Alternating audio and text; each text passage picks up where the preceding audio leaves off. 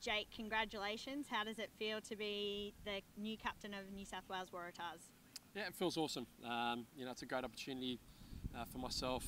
You know, uh, growing up, never would have thought you know I'd even play a game for the Waratahs. So, you know, to be given the opportunity through my peers and, and the coaching staff to be the captain of the Waratahs is very exciting. You've come through the New South Wales pathways. You're Canterbury Junior and then Sydney Uni. I mean, how does it feel to captain your state and lead out such a great group of guys? Yeah, very exciting. You know, I, I look back on some of the captains they've had here before, like Phil Waugh, Michael Hooper, uh, Rob Simmons, the most recent captain. You know, to, I guess to be in that sort of field, uh, representing such a proud state, um, and a team like the Waratahs is something pretty cool.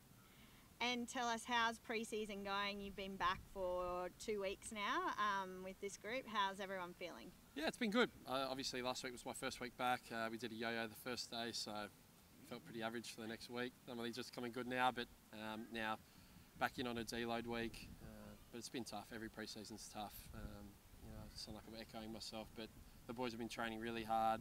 It's great seeing the young guys have so much enthusiasm. Uh, you know, it's fun getting getting into Lachie Swinton on the training field too. So it's great to be back.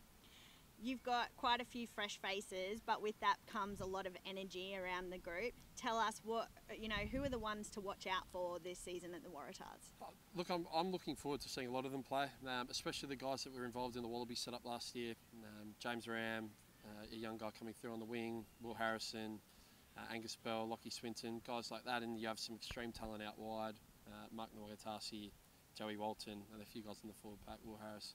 Quite, there were some really impressive athletes there. Jake, we're kicking things off with the Super Rugby AU competition. You know, what, what, why should fans get excited about this season coming up? Look, I think you reflect on last year's Super Rugby AU competition. It was an exciting brand of a brand of rugby. Um, you know, you got the likes of the Reds who have a very dangerous back line and a big forward pack. You look at the Western Force who've recruited quite heavily and have a great team across the park. The Melbourne Rebels with a big forward pack. Um, and then you've obviously got the Brumbies who won the competition last year and also Wallabies jobs up for grabs. So, you know, hopefully we can get some fans out to the game. It'll be a, a great competition. For the New South Wales Waratahs fans out there, what, what can what can they expect from the, your side this year?